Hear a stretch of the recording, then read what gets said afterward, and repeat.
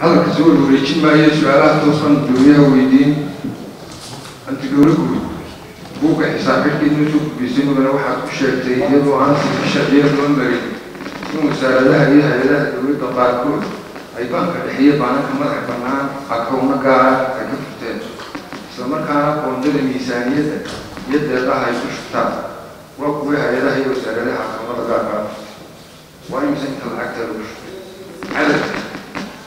akownada furay ma loo sheegi maxaa talaaba qaadeero raacaya xeerka xishoobka qaranka ee seventy six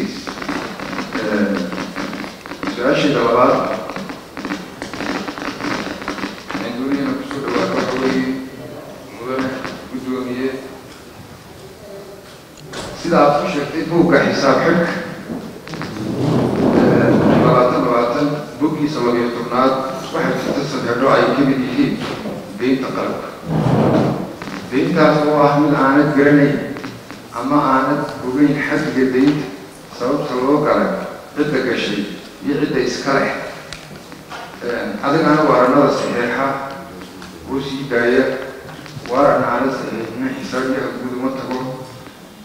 Mas'uuliyaddaada koowaadna waa yaalatahansa umada haddaba maxaad u sii daysay deynta aada sheegtay inaan ogeyn cid leh iyo cid ugu leeyahay oo ka baxa xildhibaanku uu mahadsan yahay haddii aan ku horeeyo ta akoonnada fahamka ereygu waxa weeyaan waxaa jira akoonno lagu shubay lacag kale waa sax.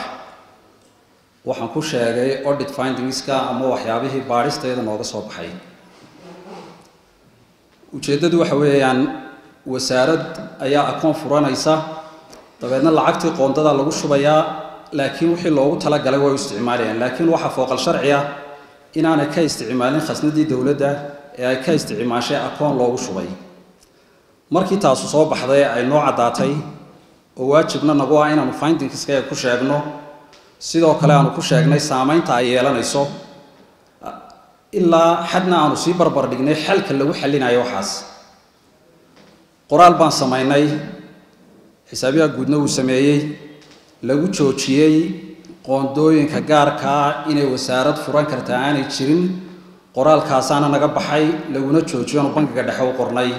Taa tallaabadaana waanu qaadnay laakiin sababtanu u muujinay waxa weeyaan inaanu etigiskayga ilaalino wixii aanu aragnay inaanu ku sheegno xisaab xidhka oo aanaan odhan kol haddii amarteenoo la joojiyey waxba ha sheegina laakiin wixii nooga soo baxay xisaab xidhka inaanu sheegnaabay noqotay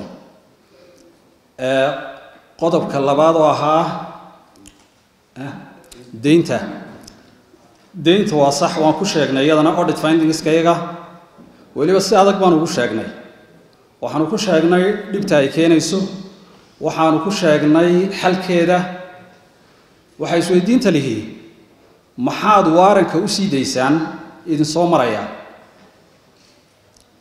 waxaa ka horeysa maxaa miisaaniyadda loogu soo daayey miisaaniyadda golu ansixiyey muxuu u soo ansixiyadoo deyni ku jirto aanu deynta garanaynin? Waayo innagu xeer baan fulinaynaa. Xeerkuna waa miisaaniyadda.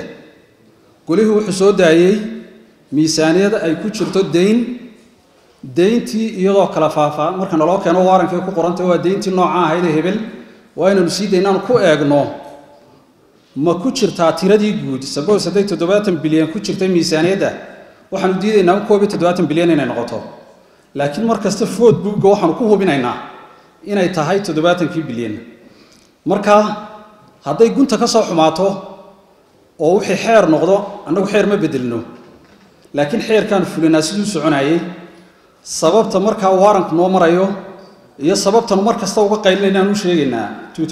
waanu ku sheegnay waanu ku sheegnay. Iminka waa la sameeyey maxaa la yidhahdaa recommendationska liis baa kolley samaysay wasaaradda maaliyaddu laakiin responsibilitygaygu annaga waa intaas. Haddii miisaaniyadda aanay ku jiri lahayn halkaasaanu iska dhigi lahayn oo maanaan aqbalneen waxaan filayaa in intaas ku filan tahay